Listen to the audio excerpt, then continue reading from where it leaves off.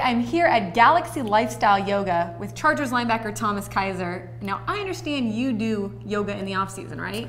Yes, I do a lot. You know, I got into it to try to work on my flexibility and uh, had some great results with it, so kind of stuck with it. Are you pretty good? I'm relatively good. Flexible in the off season right now. I'm probably gonna embarrass myself, but it's all good. It's good because I am not good, so it'll be fun. Let's go get our yoga on. Sounds good.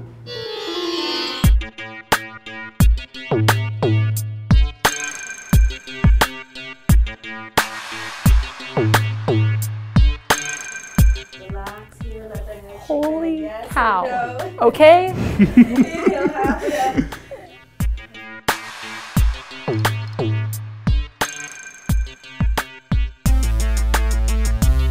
Step your front foot back, flow through your chaturanga.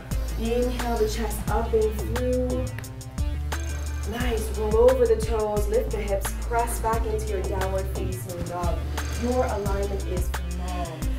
His alignment is phenomenal. It is. Look at this alignment, Look folks. at this. Okay? Does not get better than this. It doesn't. This is fantastic. One Thomas, more do you know what chaturanga is?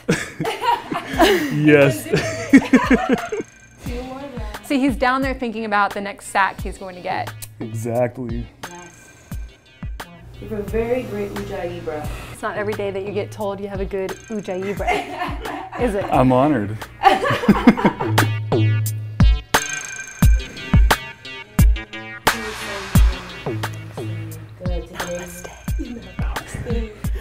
can see who the expert is in here.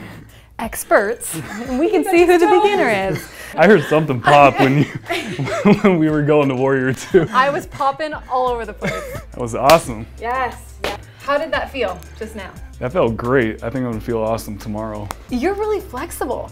So you weren't kidding around. I mean, you do yoga. Yeah, I, I always try to maintain it. I incorporate a lot of those moves pre and post practice. I feel like that's so beneficial. It's applicable for every position on the football field, but you know, as a pass rusher to be able to like flip your hips around the guy and be able to turn those corners, it's it's uh, a major benefit. So it's not just strength. No, it's it's not, and definitely early in my career, especially in high school and college, I fell into that trap. It, like, just got to be in the weight room, pounding weights all the time, and you know, there's a time and a place for that. But if you can't use that strength out on the field because you're too stiff, then it's worthless. So by using this to complement your other training, you it basically has a synergistic effect. This guy. This is Stanford guy, so he's smart. but this guy, he knows what's up. That keeps you in the league longer too. It definitely does. If your if your knees, your elbows, your shoulders, hips feel good, then you got a longer lifespan. Namaste. Namaste.